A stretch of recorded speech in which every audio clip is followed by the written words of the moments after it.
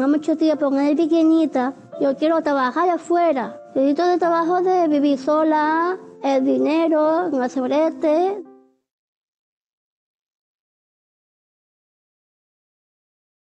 Las tareas que realiza Noli en el mercadillo no las hacía antes nadie. Yo al terminar mi jornada de trabajo, pues me quedaba más tiempo para preparar los sacos de naranja o de papa para el día siguiente, el domingo. Haber contratado a Nelly ha supuesto un enriquecimiento tanto económico como emocional, ya que mm, realiza una labor que a mí no me daba tiempo realizar y ha mejorado el entorno en el que estamos, porque mucha gente se interesa por el mundo de la discapacidad y está viendo todas sus capacidades.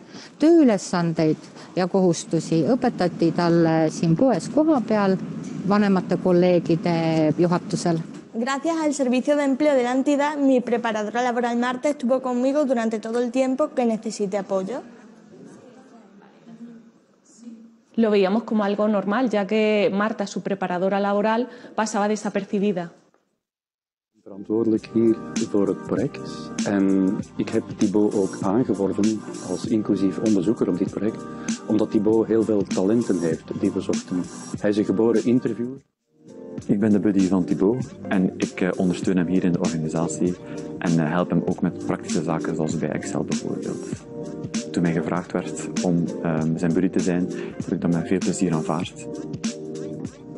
El mundo es muy complicado y mi trabajo es que más personas puedan entenderlo. La OACES, Oficina de Accesibilidad Cognitiva de Extremadura, es la primera oficina de estas características que hay en España. La OACEX.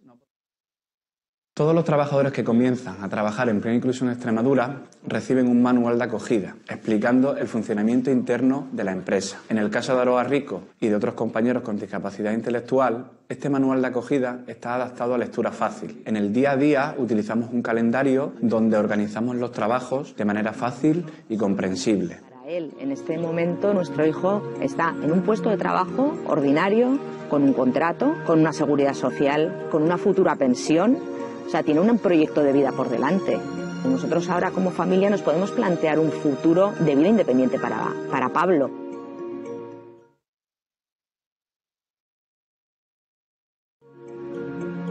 Para las empresas esto es una gran oportunidad. Eh, vais a conocer personas eh, impresionantes, personas que van a ser los mejores embajadores de vuestras empresas, que van a mejorar el clima entre los trabajadores. Seguro que está demostrado que personas como nuestros hijos eh, favorecen y enriquecen el entorno escolar y ahora es el momento de que favorezcan y enriquezcan el entorno laboral. Darles la oportunidad, contratarles.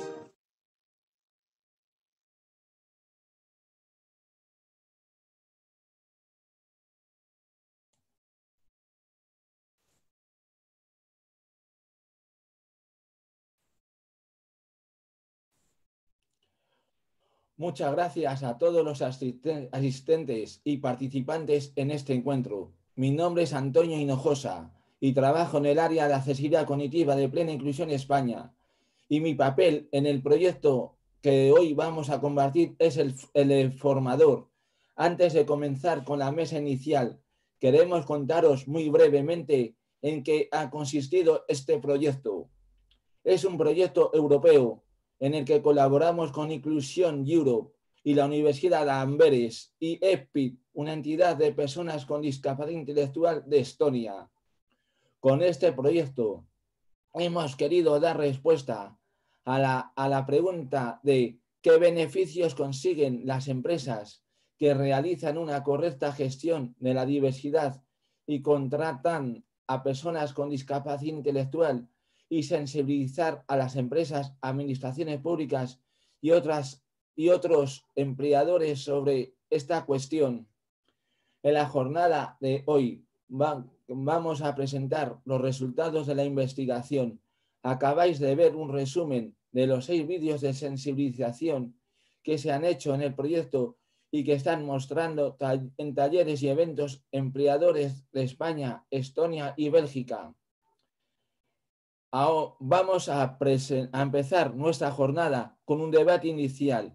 Para este debate contamos tres ponentes excepcionales que son Teresa Coutinho, portavoz del Parlamento Europeo en España y responsable de Juventudes, Óscar Sáez, miembro de la red de líderes de plena inclusión, representando a plena inclusión La Rioja, y Miguel Segarra, presidente de Especial Olimpis España y miembro de la Junta Directiva de Plena Inclusión España.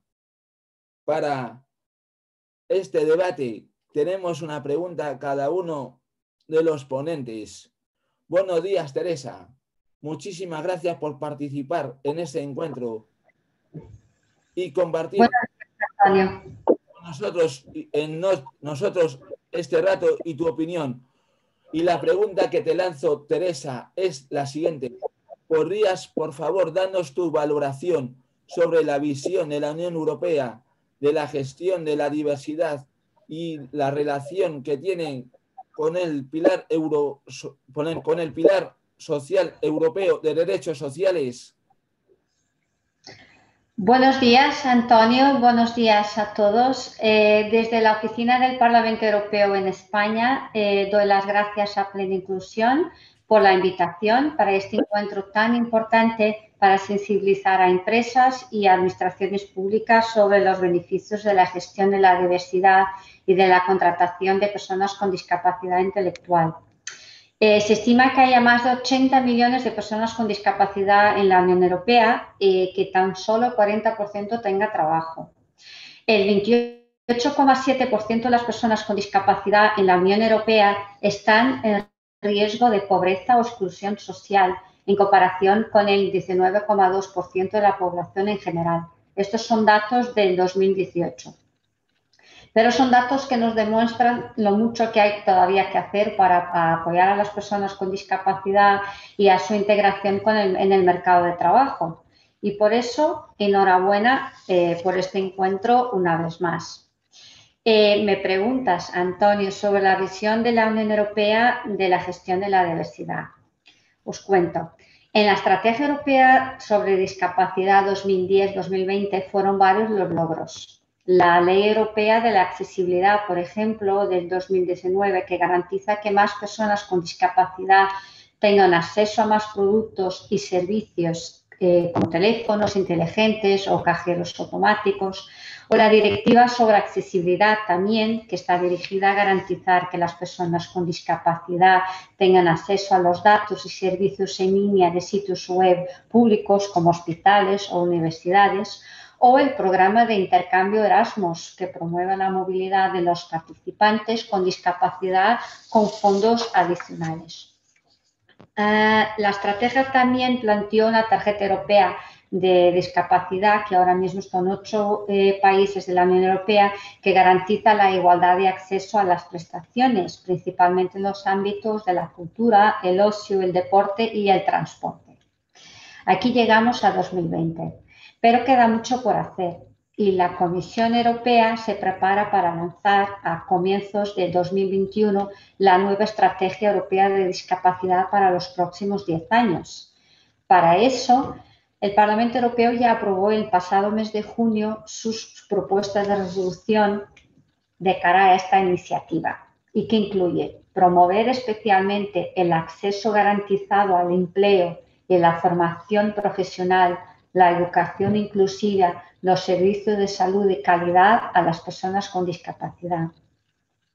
A la vez, resolver el impacto desproporcionado de la crisis del COVID-19 en las personas con discapacidad intelectual y a las personas con otros problemas de salud mental y sus familias, que crea una carga adicional para los miembros de la familia que los cuidan, en especial las mujeres. Me preguntas también, Antonio, sobre el Pilar Social Europeo de Derechos Sociales. Pues el Pilar Europeo establece 20 principios para una Unión Europea más justa e inclusiva. Estos principios están destinados a fomentar mercados de trabajo y sistemas de protección en igualdad, incluidas, claro, están las personas con discapacidad.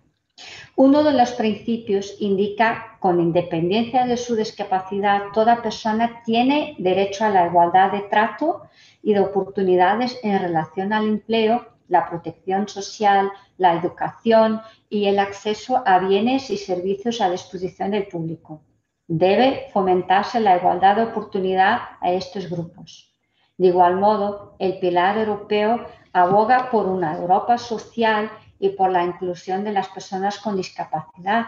Defiende que las personas con discapacidad tengan derecho a una ayuda a la renta que garantice una vida digna, a servicios que les permitan participar en el mercado laboral y en la sociedad y al entorno de trabajo adaptado a sus necesidades. Desde el Parlamento Europeo tenemos previsto para las personas con discapacidad, incluso las personas con discapacidad intelectual, becas que puedan realizarlas no solo en su país, sino también en Bruselas, por ejemplo. Tenemos también diferentes compañeros eh, con discapacidad trabajando con nosotros. Incluso hay dentro del Parlamento Europeo un intergrupo de apoyo a las personas con discapacidad o a los padres de personas con discapacidad. Pero queda mucho por hacer, como hemos hablado, y por eso encuentros como este eh, son muy importantes para llevar a las empresas, a las administraciones a incrementar el porcentaje de personas con discapacidad intelectual con trabajo. A conclusión, los principios existen y desde las instituciones europeas asumimos el compromiso de visibilizar y luchar para que las personas con discapacidad tengan el lugar que se merecen en el mundo de trabajo. Muchas gracias.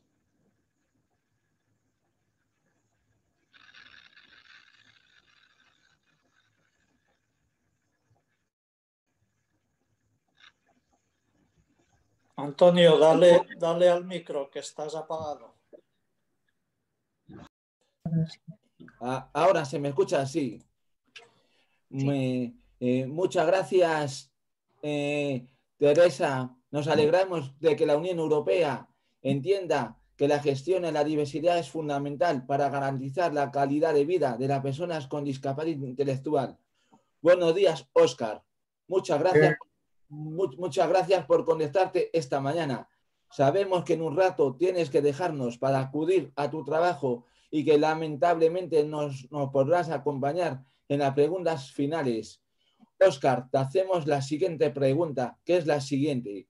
¿Por qué crees que es importante que, las empresas faciliten los apoyos a las personas con discapacidad intelectual que contratan ¿Y qué apoyos has podido tener tú para tu puesto de trabajo?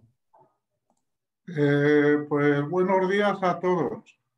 Pues yo creo que es importante la contratación de personas con discapacidad intelectual en las empresas. Para una empresa es bueno que haya personas con discapacidad intelectual y puede, y puede dar buena imagen. Además, pueden ser ejemplo para otras empresas y que se vea que las personas con discapacidad intelectual pueden trabajar y ser buenas en su trabajo. Es importante también que la persona que entre a trabajar sea responsable para que, para que la persona con, con discapacidad también es importante, es importante relacionarse con otras personas y valorarse a sí misma. Lo que pase en una empresa es bueno para todo el colectivo, porque puede dar más oportunidades a otras personas con discapacidad para trabajar. También es importante que haya apoyos en las empresas Todas las personas no tenemos las mismas habilidades ni la misma autonomía. Yo, por ejemplo, necesito apoyo cuando hay que coger algo pesado o hay que coger una carretilla elevadora. También depende de, de los trabajos que sean.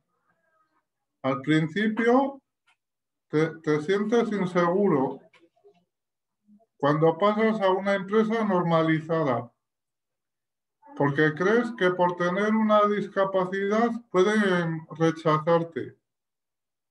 Para mí fue importante y un proceso de aprendizaje cuando en el centro de cuando del centro especial de empleo nos llevaron a un enclave laboral en una empresa diferente. Yo tuve apoyo los primeros, los primeros días y un compañero me estuvo enseñando lo que tenía que hacer. Y luego yo también fui apoyo a otra, de otras personas que entraban nuevas a trabajar.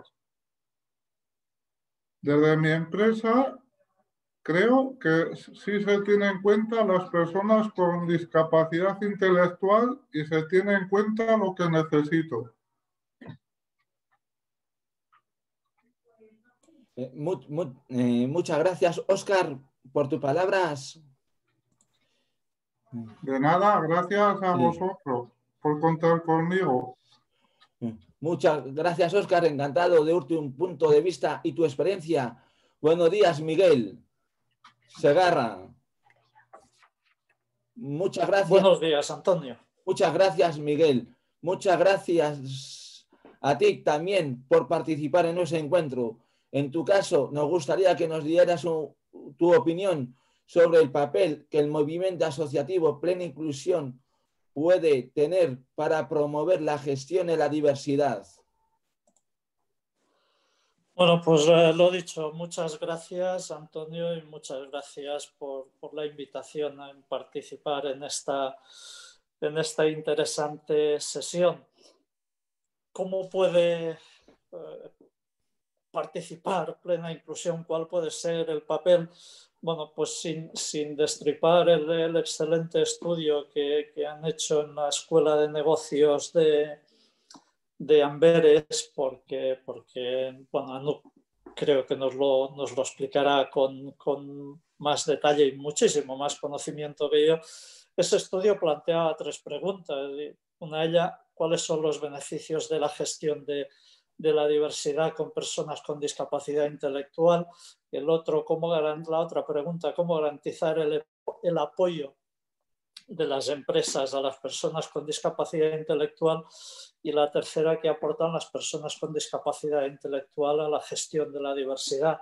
Yo creo que, que, que esas tres preguntas están tan tan incardinadas en, el, ADN de plena inclusión, en el, en el quehacer eh, diario de plena inclusión, que, la pregunta que me hacías pues podría, quedar respondida con, eh, con estas, tres, eh, con estas tres preguntas, aunque es contrasentido que tres preguntas pues respondan a una pregunta, pero con el sentido de, de esas tres preguntas. En cualquier caso, bueno, pues eh, FEAPS eh, antes, plena inclusión ahora, han sido, han sido pioneras de, iniciativas. Una de ellas la, ha mencionado Oscar, los enclaves laborales. Eh, el empleo con apoyo pues es consustancial al, al movimiento, al movimiento de, plena inclusión.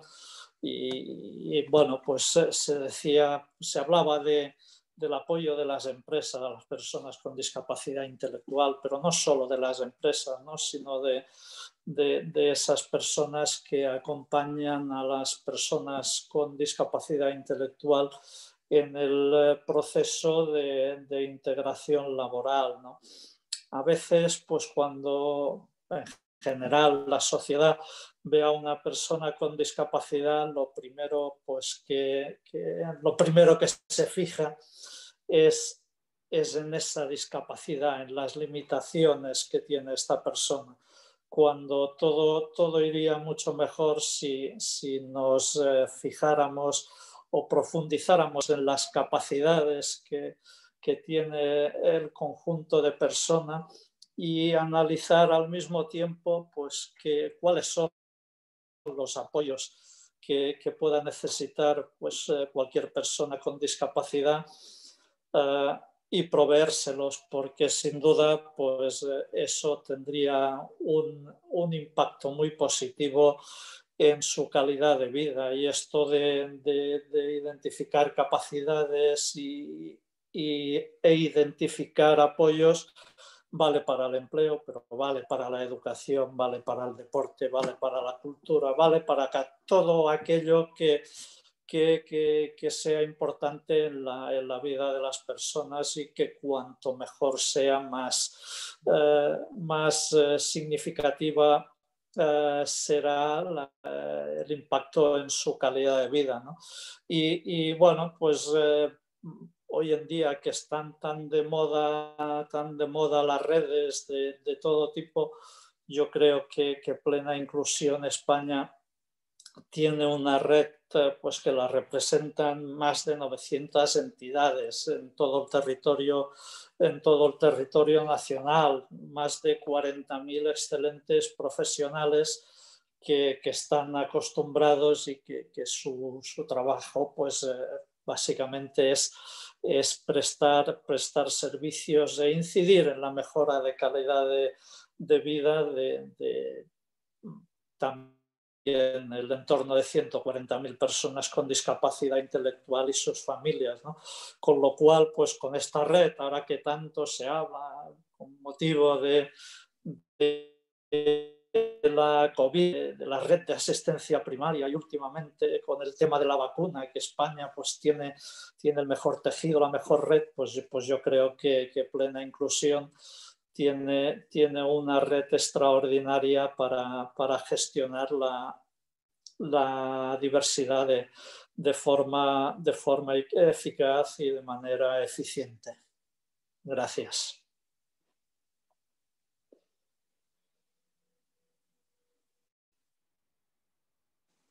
Abre el micro, Antonio, que no te oímos.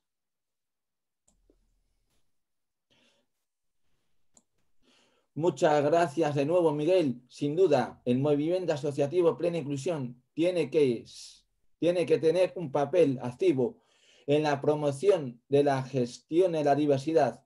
A continuación, damos paso al siguiente bloque del encuentro que estará dinamizado por Aroa Rico. Aroa Rico es una validadora del equipo de accesibilidad cognitiva de la Oficina de Accesibilidad Cognitiva de la Junta de Extremadura, que es la OACIS, gestionada por Plena Inclusión Extremadura y protagonista de uno de los vídeos de este, de este proyecto.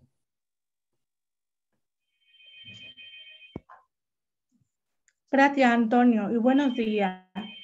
En este bloque del encuentro vamos a conocer uno de los principales resultados del proyecto europeo Mi Talento para la diversidad. La Escuela de Negocios de la Universidad Amberes realizado una investigación para conocer los beneficios de la gestión de la diversidad con personas con discapacidad intelectual.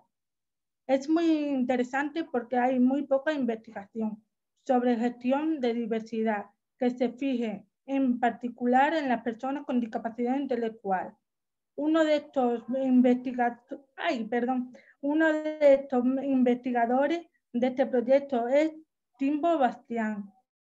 Él es una persona con discapacidad intelectual y aunque no se ha podido conectar hoy con nosotros, nos manda un saludo y explica su papel en la investigación.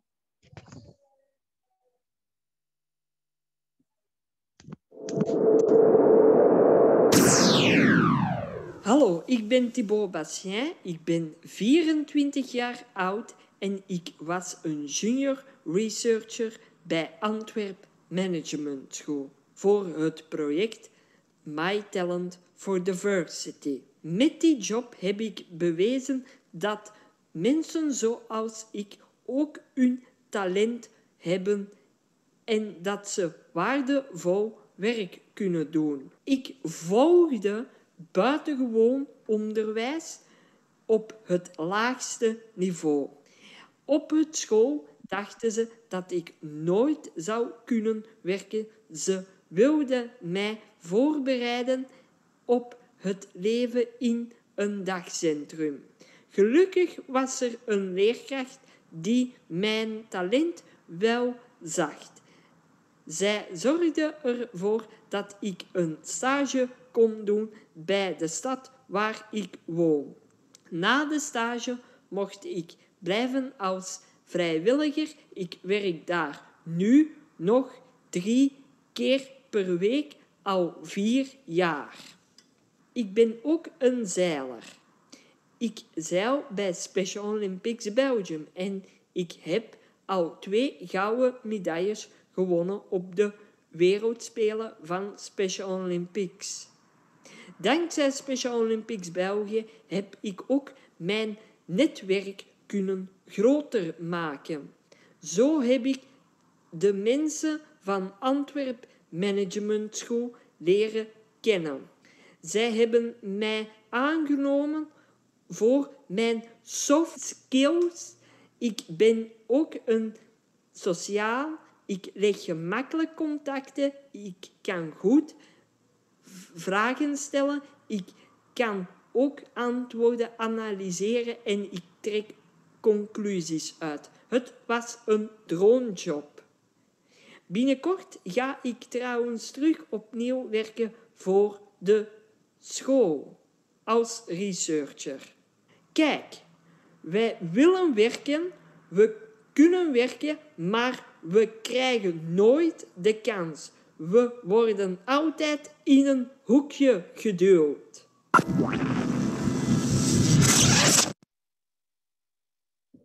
A continuación os presento a Anu Van Hotfesta. Perdonad por mi pronunciación. Ella es una investigadora que ha realizado el informe sobre gestión de la diversidad y que mis compañeros están compartiendo por el chat. Anu trabaja para la Escuela de Negocios Abel. La presentación de Anu va a ser en inglés. Para poder entenderla tenéis, que, tenéis todo un botón en la parte baja de la pantalla, donde pone interpretación. Por favor, pinchad en ese botón durante la intervención de Anu y cuando termine volver a dejarlo como estaba antes, que ella hablara. Gracias, Anu. Gracias, uh, Aroa, y gracias, Antonio.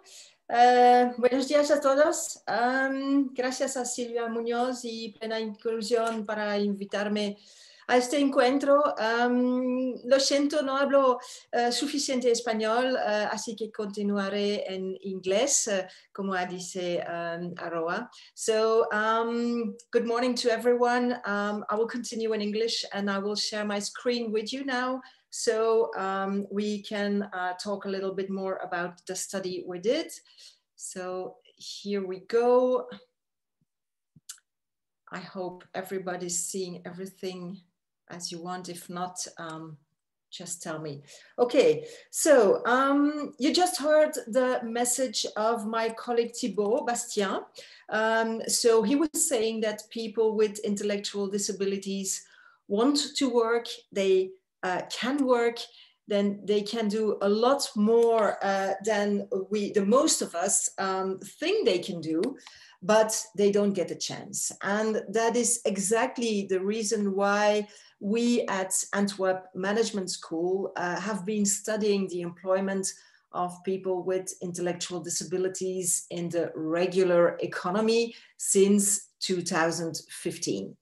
Um, we have been doing this on a regional level, um, on a Belgian national level, and with my talent for diversity on a European level. So we have gained a lot of experience, a lot of knowledge.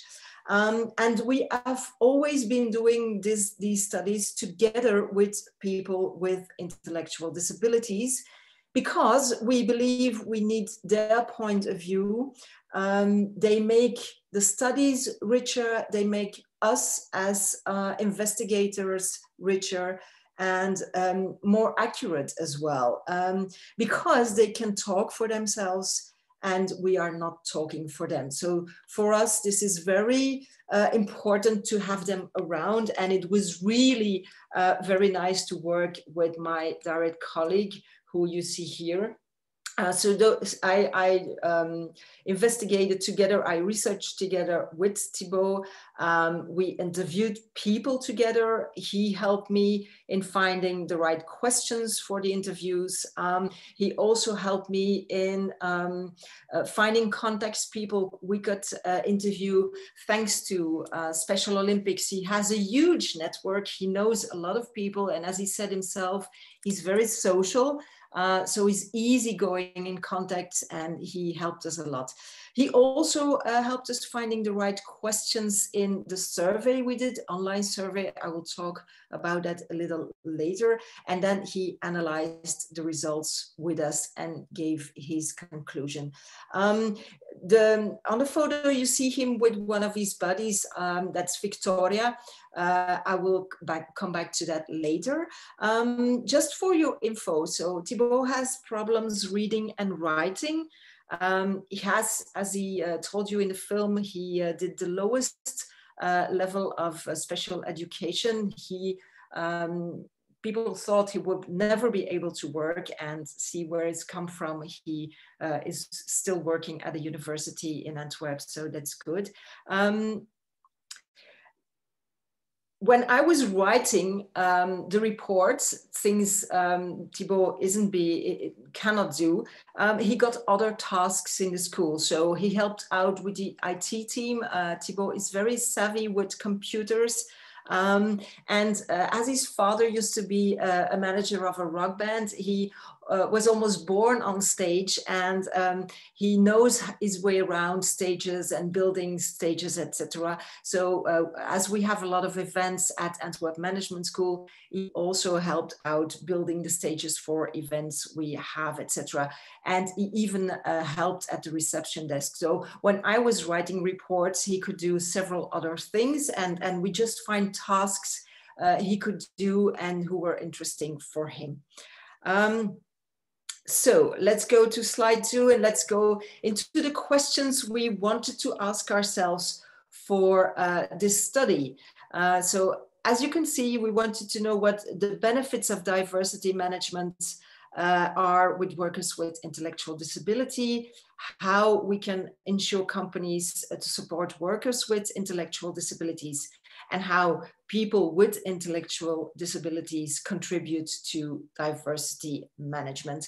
Um, there's something I would like to point out um, because I think diversity is a large concept uh, which is very commonly known and rather well applied in the regular economy. But um, we found that it is not Pero a guarantee. Hemos visto for... que no. I'm sorry. Okay, no, no it, it, it, was the translation into Spanish that jumped in. Okay, sorry. can I continue? Is it all right? I, I continue? Yes, I think so. Okay, thank you. So I, uh, what I was saying, um, uh, talking about diversity is not enough because it is not a guarantee for inclusion of people with intellectual disabilities.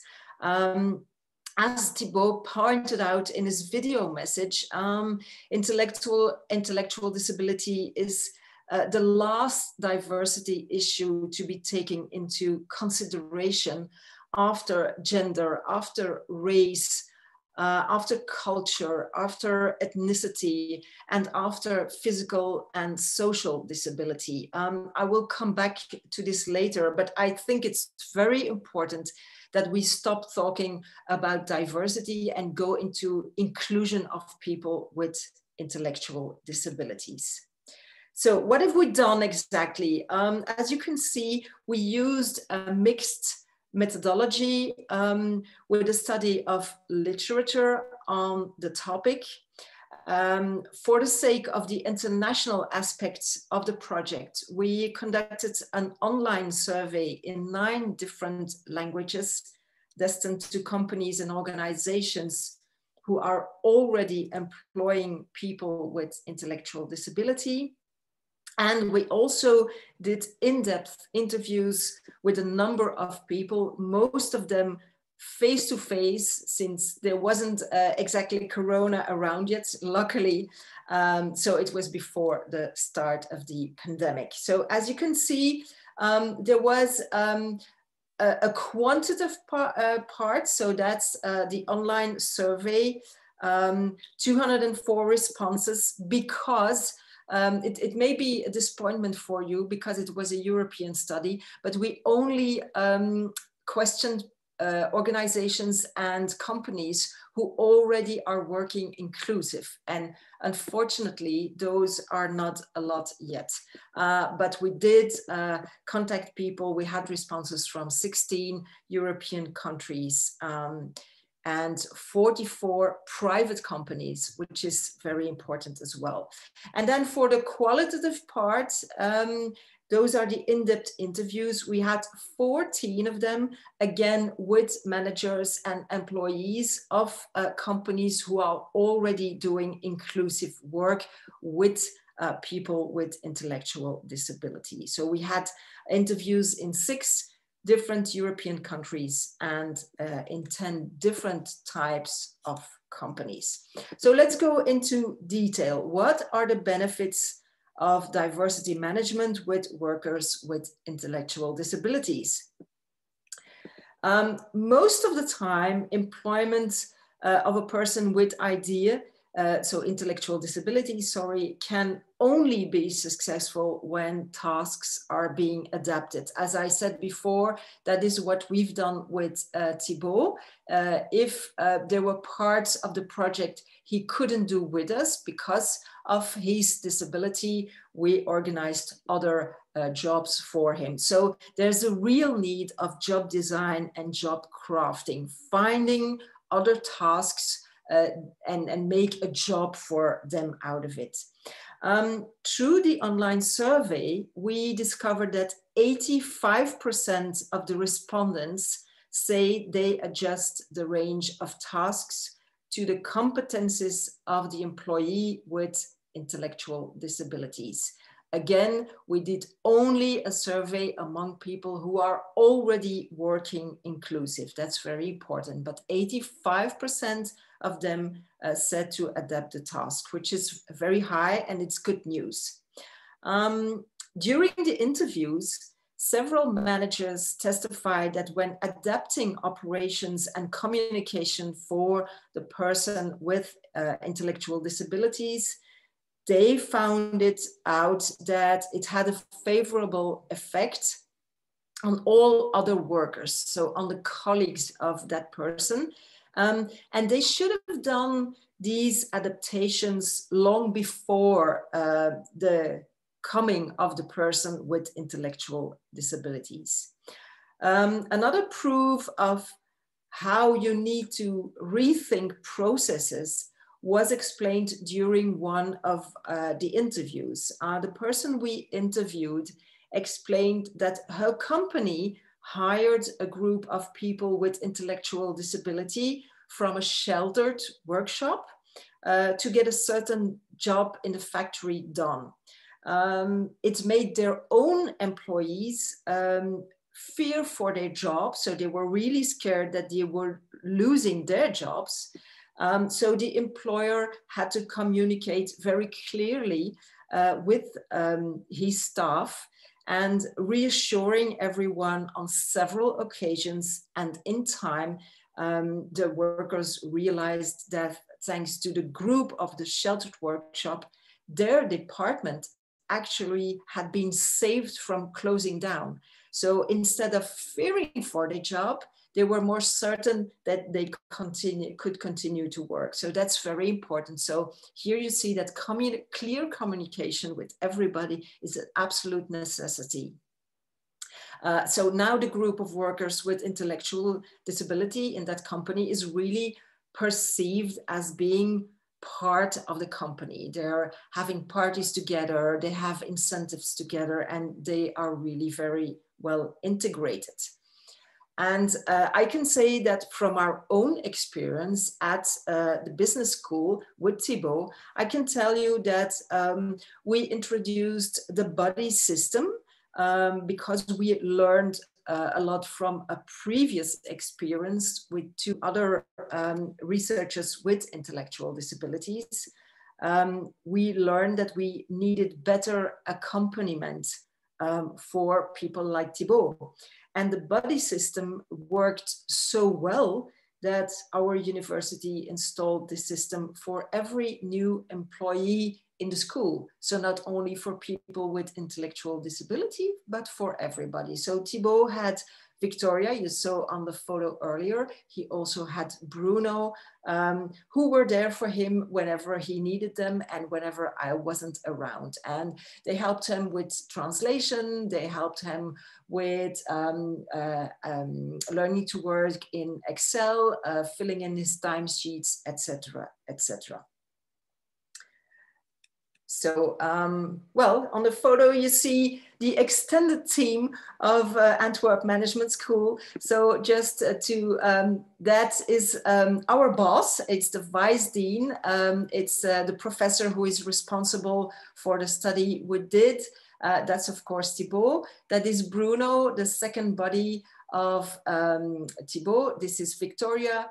Um, this is Victoria, that's me, of course. And this is the David, our statistician, uh, who is very well with figures and uh, we absolutely needed them to be able to analyze um, every data we um, got together with, with our study. Um, and David uh, has autism. So it is a really inclusive team and you see uh, we are a very happy team and you see how we could uh, laugh all together. And I think this photo is a good illustration of the opinion of 78% of the respondents uh, of our study saying that they expect that employing a person with intellectual disabilities has a positive effect on the culture of the organization.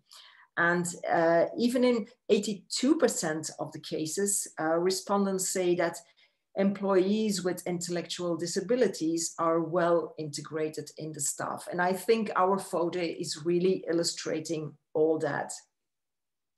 Um, during several of our in-depth interviews, managers saw um, changing uh, among their staff when they hired a person with intellectual disabilities. Um, for example, having a colleague with Down syndrome around made people uh, put their own problems more into perspective and they grew more um, collegiate.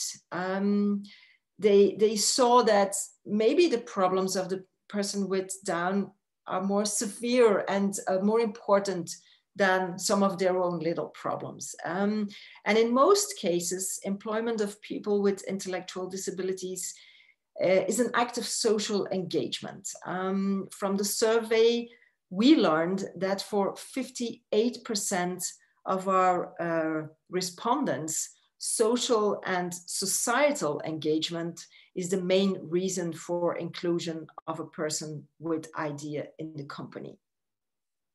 And for 42%, the reason for hiring is a clear and shared inclusive company culture. So our university uh, really stands for societal engagement, for sustainability and for responsibility towards society. Um, but we hired Thibaut in the first place for his skills. So um, the SDGs, the, um, the Sustainable Development Goals of the United Nations are very, very important to us. But Thibaut was there in the first place um, for his skills, for his soft skills. And um, I must say um, that he surely has no diploma to work for a university, but his soft skills were really very useful for us. Um, so this is an immediate link to the next slide. Um, and I'm, okay, there we go. Um, as I told you, people with intellectual disability can make a difference for an employer. Um, in one of the previous examples I gave you, um, they saved the department from closing down. Um, people with intellectual disabilities can also help in taking away tasks um, which are weighing on staff. Um, and maybe they are the reason for a heavy turnover. Um, if you can assemble all those things into a job for a person with intellectual disabilities, that can be very beneficial for everyone, for the person with intellectual disabilities, but also for the other colleagues and for um, the company. Um, by choosing to give the chance to people with intellectual disabilities, you make the pool from which you can recruit much larger. Um, however, of course, this requires changes in recruitment, in selection, in the way you select people. And I think we need to look at competences and skills and talents rather than school degrees and diplomas. We need to adapt ways of applying for jobs. Um, our own researcher with intellectual disabilities, so that's Thibault, has difficulties in reading and writing. So applying online uh, for him with boxes to fill, writing motivation letters, uh, writing CVs, etc., etc. That's an obstacle to him, uh, and he will need a, a, much help to do so and to be able to, uh, you know, send the right CV, a good CV. But he's very social, social, and he talks very well. So for him, um, this would be the way to apply for a job. Maybe do it by video or apply by talking to people. And um, I will come back to this point later, but it's, it's really very important that we maybe adapt the ways uh, of, of um, yeah, the, the, the, ways people with intellectual uh, uh disabilities can apply. So results of interviews and a survey among companies that are already employing people with intellectual disabilities are quite positive. But how can we ensure that a growing number of companies um, employ and support workers with intellectual disabilities? And there, there is definitely a huge lack of knowledge and expertise. Um, so what is intellectual disability? Most people don't know or come up with the disabilities who can be named like down syndrome or microcephaly or even autism, if not all people with autism have real um, intellectual disabilities. Um, but it's, it's just because they can put a name on it. And based on that limited, limited knowledge, sorry, they think people with intellectual disabilities are not capable of working in the regular economy. We have met with HR managers and with company physicians, doctors even, who talked about pathologies, uh, about diseases, as if intellectual disability was something that can be cured. And this is known as the medical approach, but it's not the correct one. Um, we uh, have also met with company recruiters who said um, that they were an inclusive company because some of them were talking to the gardeners of the subcontractor outside of the office building. Of course, this is not inclusion. Um, others also said that they only uh, needed high level profiles in their company almost forgetting that um, they also hire cleaners and kitchen staff, etc., etc. So, as I said before, a diversity policy is not enough because uh, people with intellectual disabilities will always be the last in line to be hired after other minority groups, and that is a pity.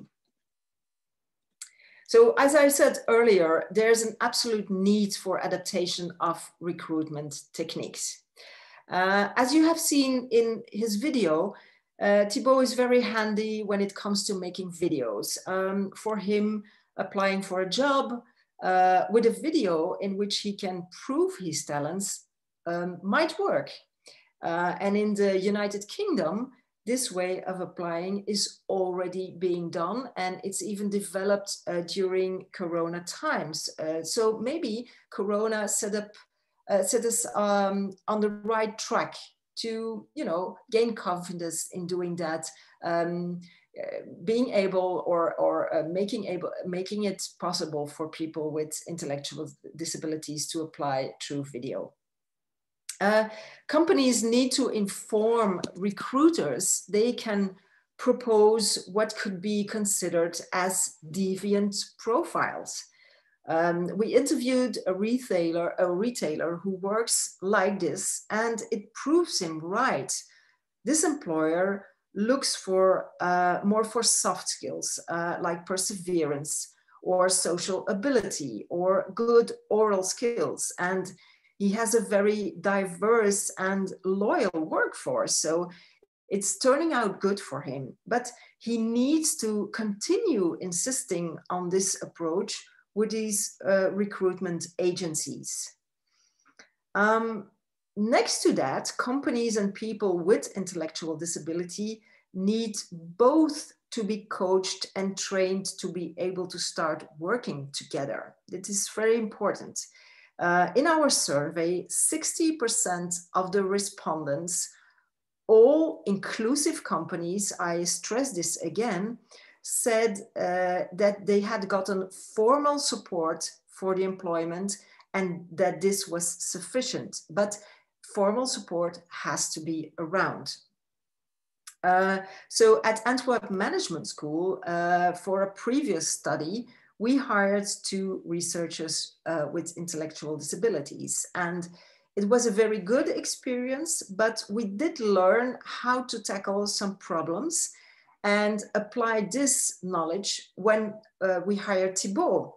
And it made things certainly a lot smoother. So for example, the buddy system is something we applied learning from our previous um, hiring, our previous work with uh, people with intellectual disabilities.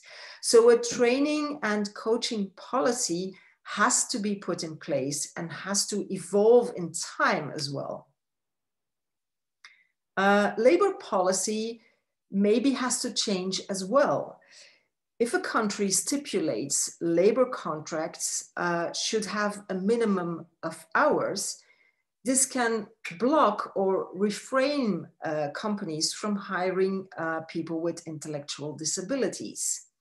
Uh, I give you an example.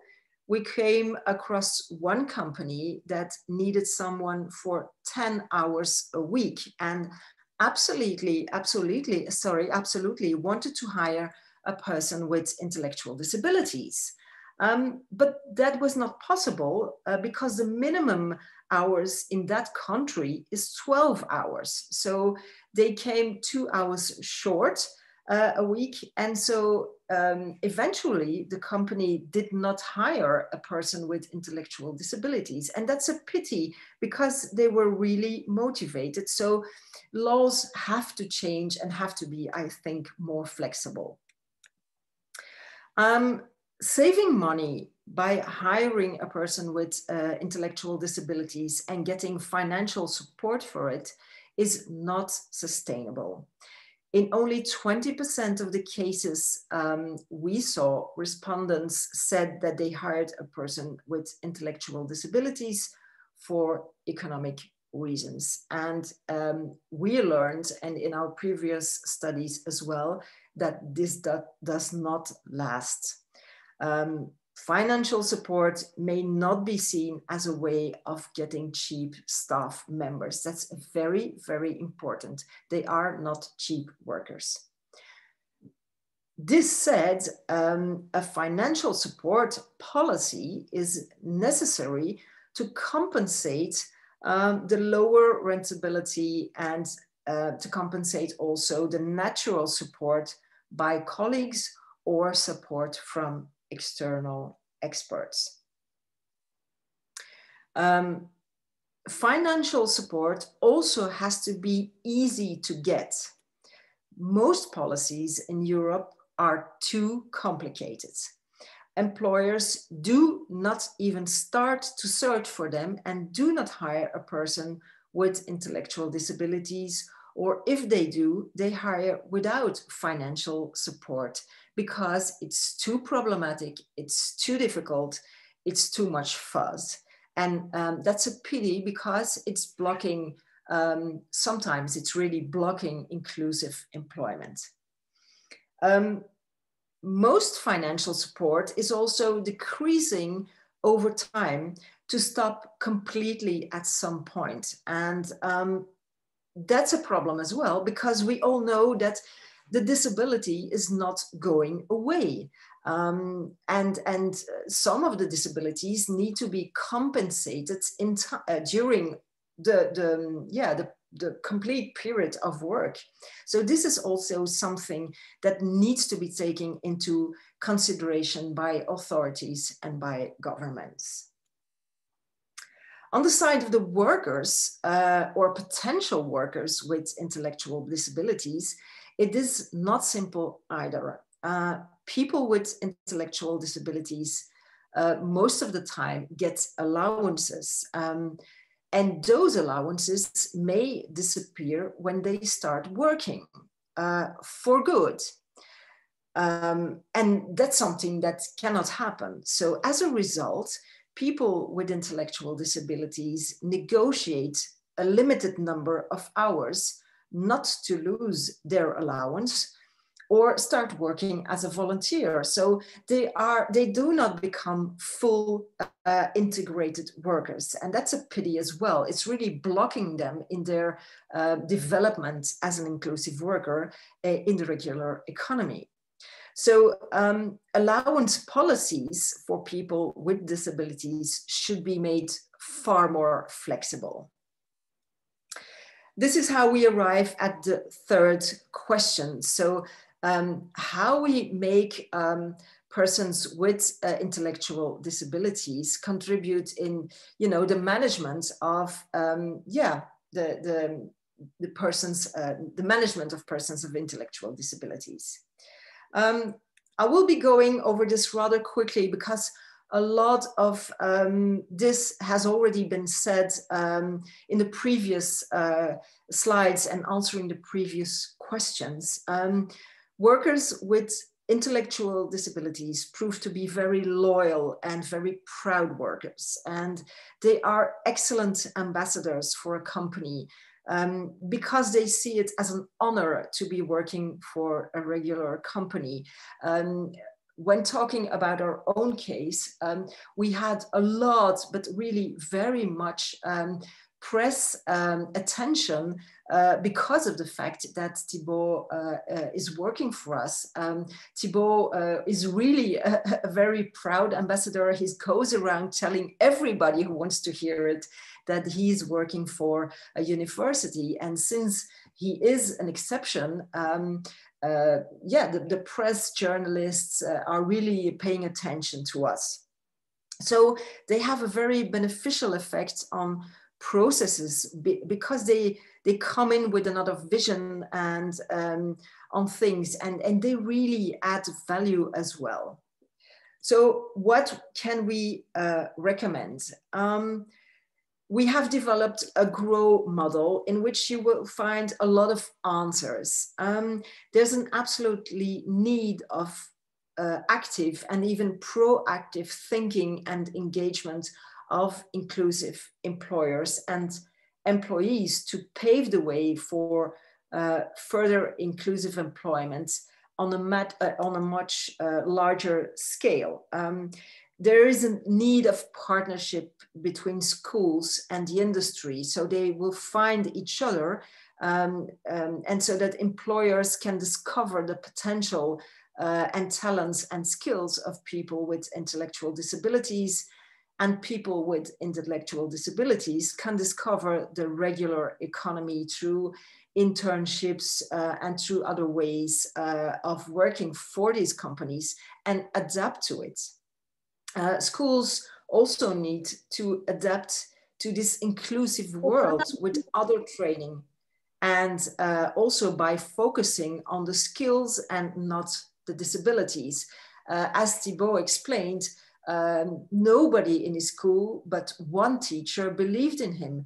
He was prepared to uh, spend the rest of his life in a daycare center because they were convinced that he wasn't able to work. And you see now he's working for a university. So even schools need to see the talents of their pupils and their students and need to believe in the chances they will have uh, on the regular job market.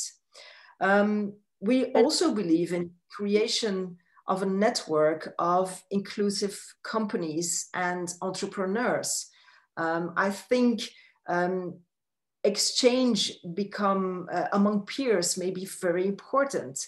Um, exchange between companies um, to find workers with intellectual disabilities, to grow awareness on the talents and skills of people with intellectual disabilities. If there's an exchange of information between entrepreneurs, between companies, um, they, we may grow the, the, the interest for people with intellectual disabilities.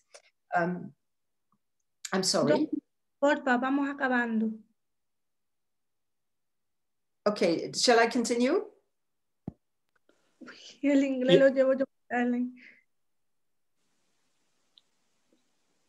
Yes, yes, Anu, the, the moderator Aroa was uh, in a way you pushing you to, to, to finish. Yes, I'm, I'm almost there. I'm almost okay. there. No problem.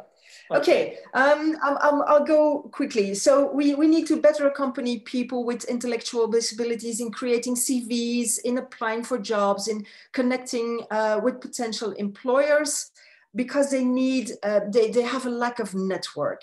Um, so, and, and to, to just, um, yeah, finish, they are really good ambassadors. They are really good advocates. And um, new employers, um, because of privacy issues, are very reluctant to show their inclusive employment, while most of the workers uh, with intellectual disabilities love to talk about it. Um, so, um, well, here I will stop. I'm sorry, uh, Arroyo, lo siento to have uh, been uh, maybe long, but I think it was necessary. So if you want more information, uh, you can email me, you can find me on LinkedIn, and you can find our full report um, as well on, in the link. So thank you, everyone. I'm sorry if I was long. Gracias, Anu. Ha sido muy interesante conocer los resultados de la investigación de este proyecto europeo. Al final de la mañana tendremos un rato para preguntas, pero si queréis ir escribiendo las preguntas, pinchad en el icono de preguntas. Nuestros compañeros tomarán notas de ellas para hacerlas luego a NU o a cualquiera de los oponentes que nos acompañe esta mañana. Damos paso al último bloque de intervención. Como sabéis, el proyecto es Mi Talento para la Diversidad. Es un proyecto europeo y nos parecía muy interesante contar con representantes de la Comisión Europea.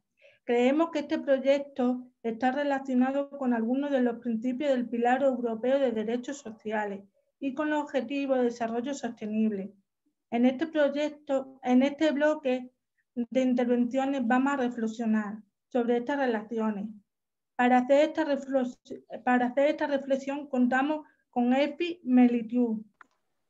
Ella es técnico de la Comisión Europea. También va a participar Enrique Galván, director de Plena Inclusión España y presidente de la Comisión de Responsabilidad Social y Discapacidad del CERN. voy a hacer una pregunta a. Efi Hola. Hola. ¿Cómo crees que este proyecto en el que se promueve la gestión de la diversidad puede impactar en el cumplimiento del Pilar Europeo de Derechos Sociales? Buenos días. Antes de nada, agradecer la invitación a este evento. Voy a dar respuesta y después introducir un poco más qué hago y mi trabajo porque se relaciona con vuestro proyecto también. Eh, hacer realidad el pilar europeo de derechos sociales está en manos de los Estados miembros, así como de los interlocutores sociales y de la sociedad civil. La Unión Europea y la Comisión Europea en particular pueden contribuir a establecer el marco y a marcar el rumbo. Eh, el proyecto Mi Talento para la Diversidad es el, paradigma del esfuerzo imprescindible para lograr avances en la inclusión de personas con discapacidad intelectual o de desarrollo. Y por eso os felicito y os animo a seguir trabajando eh, para mejorar la inclusión social. Todos sabemos que la realidad de hoy día está todavía muy lejos de la situación a la que aspiramos. Y esa es la razón por la cual estamos hoy aquí. Eh, me gustaría presentarme, presentar mi trabajo. Trabajo en la Comisión Europea en la unidad que se ocupan del Fondo Social Europeo en España. Vuestro proyecto está cofinanciado por otro departamento y otra línea de eh, financiación. Eh, pero os voy a hablar de la nuestra también, que os puede servir eh, en el futuro. Nosotros seguimos las políticas como, como los demás de nuestros compañeros que gestionan otros programas. También seguimos las políticas eh, nosotros en el ámbito de empleo, inclusión y educación. A través de los, nuestros programas cofinanciados por el Fondo Social Europeo, se intenta impulsar y apoyar la implementación de políticas y de objetivos específicos que nuestro ámbito de trabajo están directamente relacionados eh, con el pilar europeo de derechos sociales. Lo que hacemos al programar la inversión del Fondo Social Europeo en España, cooperamos con España para asegurar una alineación con el pilar, tomando en cuenta la estrategia europea sobre la discapacidad, que está, por supuesto, basada en la Convención de las Naciones Unidas sobre los Derechos de las Personas con Discapacidad. Actualmente se están cofinanciando múltiples actuaciones de apoyo a la inclusión sociolaboral de personas con discapacidades, pero solo un pequeñísimo porcentaje del presupuesto total está dirigido a personas con discapacidad intelectual o de desarrollo vuestros esfuerzos podrían contribuir a que la situación mejore en el nuevo periodo de programación de 21, 2021-2027 que también ofrece un marco aún más favorable a la inclusión social, con una inversión más elevada, incluyendo requisitos para asegurar de antemano objetivos claros, mecanismos de seguimiento adecuados y otras condiciones para asegurar un impacto positivo. Gracias. Gracias, Efi. Ahora una pregunta para Enrique. Enrique, desde tu punto de vista, ¿cómo impacta el pilar social y los objetivos de desarrollo sostenible en la labor que hacemos desde el tercer sector? Oh, gracias, Aroa. Buenas, buenos días a todos y todas. Me, me está en primer lugar pareciendo muy interesante la jornada y las distintas visiones que, nos están dando ¿no? de, desde otros países y, como proyecto común. Este proyecto lo que significa es que no es una cosa que ocurre en una ciudad concreta, en un pueblo o en un país, sino que es un proyecto en el que estamos involucrados muchas personas de muchos lugares, eh, muchas empresas, ¿Cuál es el problema que yo veo fundamental? Es que en, los Objetivos de Desarrollo Sostenible, cuando se inauguró y, hubo un acuerdo por parte de, muchos países de que teníamos que cambiar eh, la agenda, las cosas que tenemos que hacer para, para mejorar el mundo y a las personas que vivimos en él, se dijo que había que emprender juntos un viaje, ¿no? Y que nos íbamos a prometer que nadie se quedaba atrás. El problema más importante que existe es que no hay una cultura, no hay una creencia de que vamos juntos en el barco. No tenemos conciencia de que es un proyecto donde tenemos que estar todas las personas presentes cuando se ha iniciado eh, la jornada, en el vídeo, la persona que había contratado decía, yo hacía muchas cosas que no me daba cuenta o que creía eh, que no eran importantes. Y he contratado a una persona con discapacidad intelectual, con síndrome de Down, que está haciendo una tarea que es fundamental. Eh, por ejemplo, en la ley actual, de, ahora se va a cambiar en España, las personas con discapacidad intelectual, eh, los niños y niñas, suspenden todos los años. el sistema no evalúa sus progresos. Si a una persona la suspendes todos los años, cuando termina su etapa educativa, ¿qué sabemos de lo que ha progresado? ¿Cuáles son esas tareas en las que tiene talentos? Thibaut lo decía, yo tengo talentos. Pueden ser talentos soft, es decir, suaves, actitudinales, relacionales, sociales, pueden ser talentos duros, pero todos y todas tenemos talentos. El pilar social europeo, yo creo que, y Efi lo sabe mejor que yo, lo que nos quiere trasladar es que tenemos que cambiar un modelo de economía que solamente piensa en un beneficio a corto plazo. Un modelo de economía donde las, los trabajadores y las trabajadoras son una herramienta y no son un fin en sí mismos. Y que por tanto tenemos que cambiar esa visión de que todos tenemos que estar en el mismo barco y tenemos que cuidar el mar en el que navegamos, el entorno. Y los objetivos de desarrollo sostenible lo que nos dicen es que no podemos hacer solamente una parte del, trabajo. No podemos solamente dedicarnos a luchar contra la pobreza si no cuidamos el medio ambiente. No podemos tener un mundo mejor si no hay paz, si no hay educación.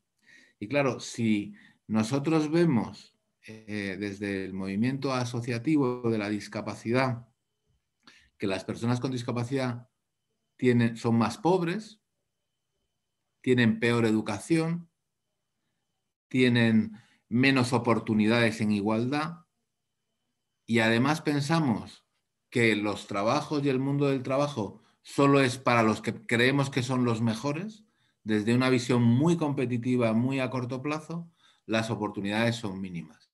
Ahora, el pilar social europeo, los objetivos de desarrollo sostenible, lo que nos hacen es transmitir un nuevo mensaje.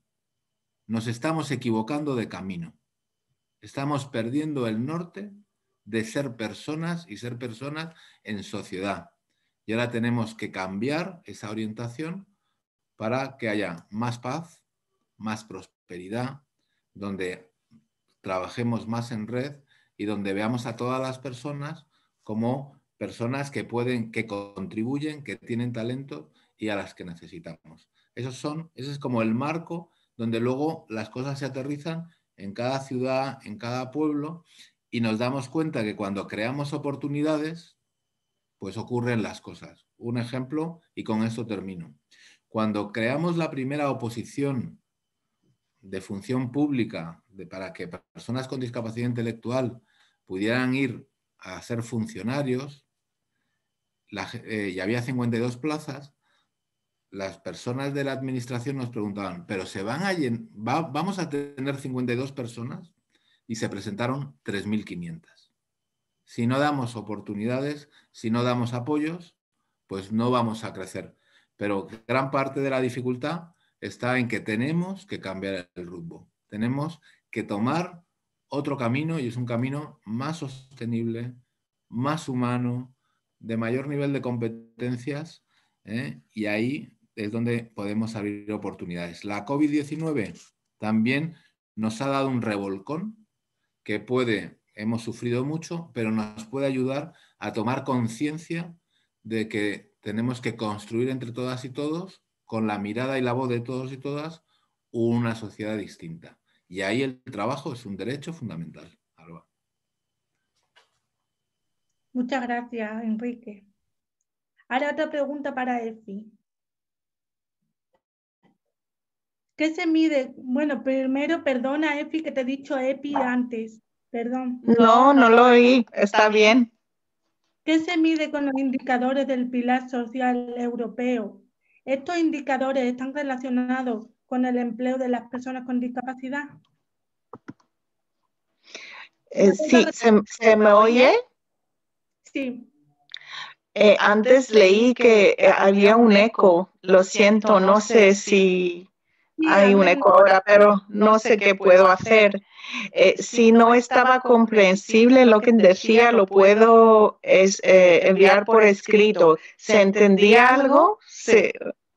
yo lo entendía perfectamente. Lo único que se oye un poco es que a lo mejor son los auriculares que tienes puestos. Mm, mm. ¿Sabes? Vale. Em, los indicadores del pilar europeo de derechos sociales están definidos a un nivel más general y no miden el empleo de las personas con discapacidad. Los logros en este sentido estarían reflejados en los indicadores generales, eh, como por ejemplo los indicadores de empleo, de, desempleo joven, eh, sobre la pobreza o el gasto público en educación. Eh, lo que hay que hacer es asegurar que cada programa y cada proyecto tenga un mecanismo de seguimiento adecuado para para que tengamos disponibilidad de datos sin de evidencias, permitiendo llevar a cabo evaluaciones a largo plazo sobre el impacto global de vuestros proyectos.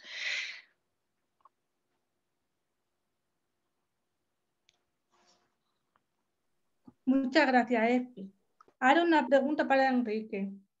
Enrique, ¿nos puedes indicar cuáles son los retos de las organizaciones del tercer sector con respecto al pilar europeo y los objetivos de desarrollo sostenible? Bueno, pues os, puedo contar algunas cosas que, estamos haciendo en ese sentido, ¿no? Y también José Antonio, que ahora va a intervenir, también lo podría contar él, porque como tú has dicho, hay una comisión donde trabajamos pues muchas organizaciones del ámbito de la discapacidad en una comisión y ahí pues hablamos de cómo avanzar en estos retos, el pilar social europeo, los objetivos de desarrollo sostenible, pero también enmarcados en el mandato principal para, la discapacidad, que es la Convención, ¿no? la Convención de, Naciones Unidas sobre los Derechos de las Personas con Discapacidad. Y ahí vimos, hicimos un análisis de que teníamos como cinco grandes tareas las entidades del tercer sector. Y, básicamente una es influir en las políticas para que sean políticas transformadoras. Eso que solemos llamar la incidencia. Lo comentaba Nuk en su exposición. Cuando las políticas, la legislación es muy rígida, no es flexible, generalmente a las personas que tienen una característica de diversidad, pues no les sirven suficientemente. Un ejemplo. El ingreso mínimo vital es una ayuda que puede ser muy buena para tener una dignidad suficiente de vida, pero a veces excluye que se pueda compatibilizar con el empleo o con una eh, tener acceso a una plaza residencial. Nosotros y nosotras lo que tenemos que conseguir es que haya un marco legal que facilite la vida de las personas y que tenga una estructura inteligente. Nuestro móvil, nuestro smartphone, ahora es capaz de entender cuánto, eh, cuántos pasos doy, dónde vivo, cuánto voy a tardar de mi casa al puesto de trabajo. Es decir, que personaliza esos servicios para mí pues las leyes también tienen que ser capaces de adaptarse a la realidad diversa de las personas. Pues ese es un papel fundamental, porque eh, Efi decía, nosotros tenemos como pilar social un marco general, pero cada país, cada comunidad autónoma, cada pueblo tiene que aterrizar en cada persona eso que significa. ¿Vale? Entonces, nuestras entidades tienen un papel muy importante en hacer esa nueva Em, ese marco legal. Otro elemento muy importante es que tenemos que ser un sistema de apoyos para las personas. Ese es el segundo gran, eh, gran función. Las personas necesitan un sistema que son a veces profesionales, a veces son herramientas tecnológicas, a veces son metodologías, y las entidades del tercer sector existimos porque somos apoyos y oportunidades para cada persona. Y ahí, en el ámbito de la educación, en el ámbito del empleo, en el ámbito de la salud, es muy importante que seamos esos elementos que igualan las oportunidades, porque uno de los objetivos de desarrollo eh, sostenible es mejorar esas oportunidades, esa igualdad, ya sea de género o también de los sistemas de, sociales. El tercer elemento es tener una red asociativa fuerte. ¿Eso qué significa? Significa que entre las distintas ONGs estemos unidos. Las ONGs que trabajan para el medio ambiente, las ONGs que trabajan para colectivos desfavorecidos, por ejemplo, de inmigración, las ONGs que trabajan para la discapacidad, porque en la medida en que seamos fuertes y estemos unidos, la sociedad va a estar más sostenida. Somos una red que si nos deshilachamos, las personas pierden apoyo y caen. El cuarto elemento, que es muy importante y que tenemos que hacer, es promover la visibilidad. Ahora, si te das cuenta, todo es comunicación, todo es Twitter, todo son las noticias como que impactan ¿no? permanentemente en, en la sociedad y tienes que tener suficiente fuerza para que la realidad de las personas con discapacidad intelectual o la realidad de otros colectivos sea tenida en, sea considerada importante. Por tanto, la sensibilización, la visibilidad, la formación, Tibó, ¿no? cuando está haciendo de embajador en su actividad de investigador, está haciendo también una acción de sensibilización que comentaba ¿no? Y por último, hay otro elemento muy importante que es nuestra dimensión de empresas.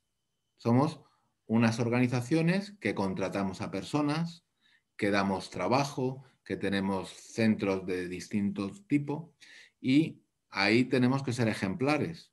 Tenemos que dar un empleo de calidad, tenemos que ser respetuosos con el medio ambiente, porque tenemos posibilidad de no contaminar o de contaminar menos, de hacer una compra responsable, si puedo comprar eh, para que pues, otros eh, grupos sociales o colectivos se vean beneficiados.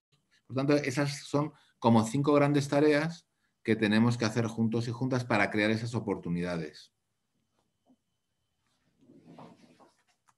Muchas gracias, Enrique. Em, muchas gracias, Efi y Enrique, por vuestras reflexiones. Ha sido muy interesante escucharos. Y ahora voy a dar paso a Silvia Muñoz, responsable de empleo de Plena Inclusión España, quien va a trasladar a cada ponente las preguntas que habéis ido haciendo los asistentes.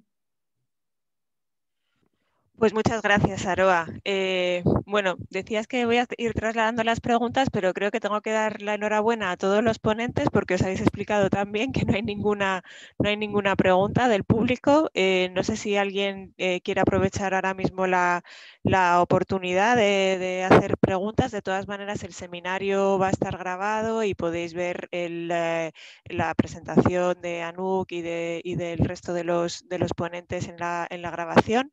Mis compañeros compañeros han estado poniendo también los enlaces al, informe de, la investigación, que creo que también puede ser interesante revisar tranquilamente. Y, bueno, ahora mismo están poniendo en el chat el, cuestionario de evaluación del, encuentro y os pedimos que por favor lo, contestéis porque es interesante para nosotros el, contar con vuestra, con vuestra opinión. Y, bueno, si no hay, si no hay mucha, si no hay preguntas, eh, sí que os queremos animar a que os unáis a la comunidad de LinkedIn de, este proyecto. Es algo que es una de las, de las cosas que, hemos hecho dentro del proyecto, crear una comunidad de LinkedIn en la que queremos visibilizar, eh, visibilizar eh, experiencias de, acceso al empleo de personas con discapacidad intelectual y, también de proveer, de, herramientas de apoyo y, y, bueno, pues eso, que sea un espacio para, para compartir. Y, bueno, si no veo que no hay que no hay preguntas, entonces como además vamos un poquito regular de tiempo, eh, vamos a dar paso a, José Antonio Martín, que es la persona que va a realizar el, cierre de este encuentro. José Antonio Martín eh, es el director gerente de la Fundación Bicual, que es una fundación que, promueve las políticas empresariales que favorecen la inclusión de las personas con, discapacidad.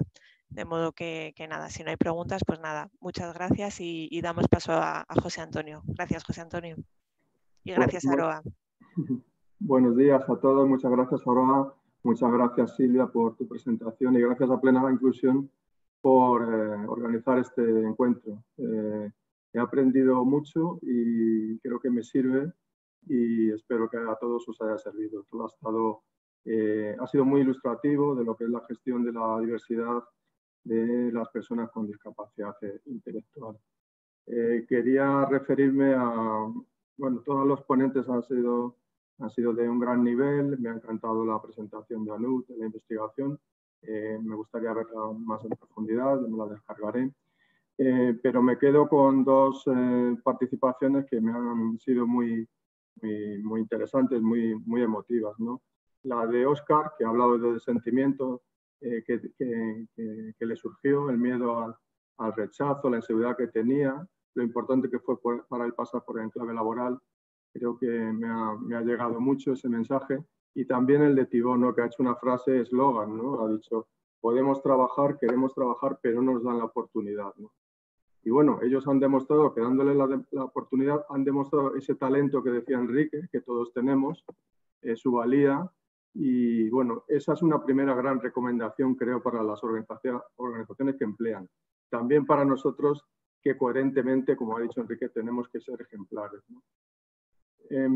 Comentaros, bueno, el término diversidad se refiere al conjunto de características que nos hacen a las personas únicas y singulares, que nos hacen ser como Oscar, como Thibaut, como, como, como cualquiera de nosotros. ¿no? Em, y la diversidad forma parte de, de, la agenda de las compañías, es un objetivo de negocio. La variedad, la singularidad aporta riqueza. Las compañías más diversas obtienen mejores resultados y son empresas más sostenibles. Em, como el objeto, el objeto del encuentro era es dar recomendaciones, yo me permito proponer dos, una que se ha hablado fundamentalmente al final a través de Enrique. Una recomendación es seguir la Agenda 2030. La Agenda 2030 que no solo debe ser conocida por todos o por casi todos o por, no sé Enrique si tenéis ya alguna, mm, perdóname mi ignorancia, alguna versión en, eh, en, lectura fácil. La hay, ¿verdad? Bueno, pues eh, nada, no, no, hace falta. Eh, es importante que la tuviera todo el mundo, esa versión, y que fuera conocida y que los que la conocemos un poco más o que hemos trabajado, hemos tenido la oportunidad de trabajar un poco más con ello, cada vez que hablemos de este asunto lo, mencionamos por la importancia, ¿no? Eso que has dicho de no dejar a nadie, a nadie atrás. Em, em, la, la, segunda recomendación eh, yo soy el director de Fundación Bicual y es un poco el plan de la discapacidad para incluir la, diversidad que supone la discapacidad, que es eh, esos indicadores que nosotros hemos formulado entre todos, encabezados por CERMI y por Fundación 11, en las que hablamos de qué es lo que tiene que hacer una empresa para ser inclusiva, para integrar, para incluir la diversidad que supone la discapacidad. En ese plan de inclusión, porque ante todo eh, para llegar a una meta, eh, si, tenemos una meta sin un plan, se queda en un deseo. Pues en ese plan que tendremos que hacer, que tendrán que hacer eh, las organizaciones en general, empresas, gobiernos, etcétera, tienen que considerar de forma transversal en todas las políticas y las, las diferentes áreas la discapacidad. Tiene que estar contemplada. ¿Con qué objeto? Con el objeto de asegurar la igualdad de oportunidades y no discriminación. De alguna forma, esto es fundamental, esa es la base.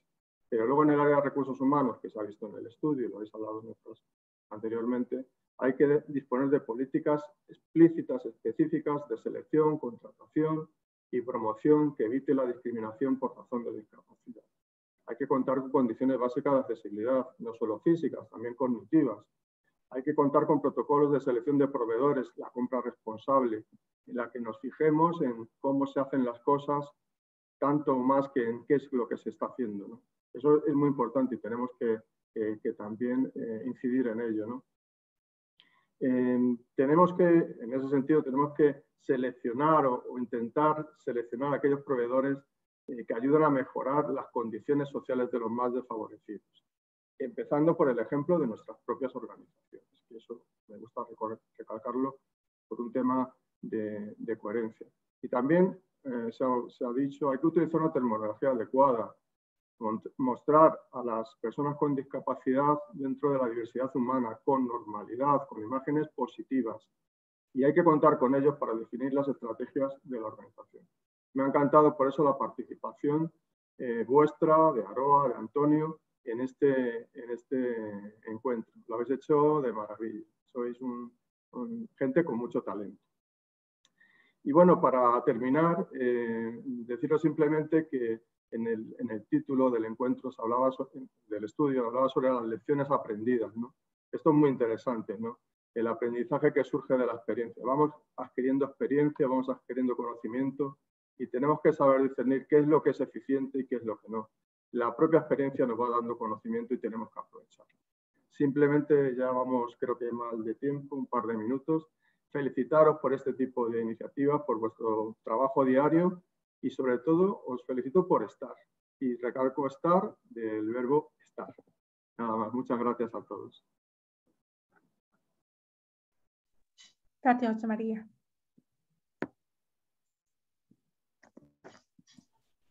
Muchas gracias a todos. Gracias a vosotros por contar conmigo también. Un fuerte abrazo.